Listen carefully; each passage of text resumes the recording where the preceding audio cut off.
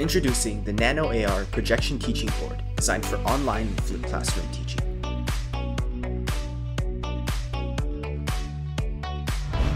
The Nano AR Teaching Board is fully transparent, allowing teachers to face the students while teaching and increase engagement.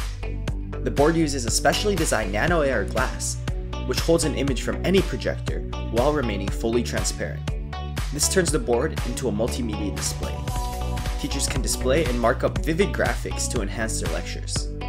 The built-in IR gesture control frame enables touch interaction with the displayed graphics, furthering the immersiveness of the lectures.